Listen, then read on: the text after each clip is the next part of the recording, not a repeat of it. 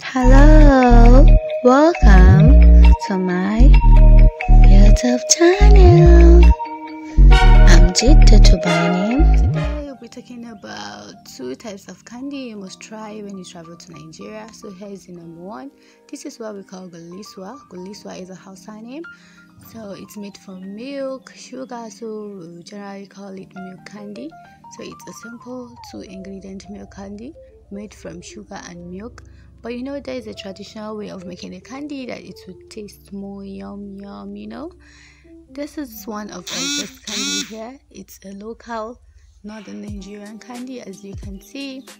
Here is the only things you need milk water and sugar to make this candy. Then you deep fry it so yum yum it's sold in different size it's sold in different shapes. You need to definitely try this in Nigeria. So here is our number two.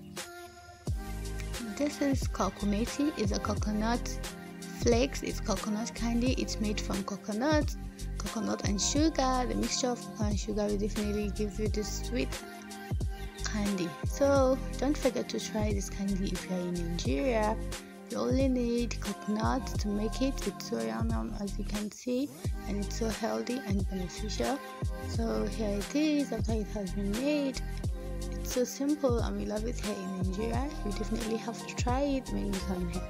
That's all for today's video. Thank you for watching my video. Like comment and share.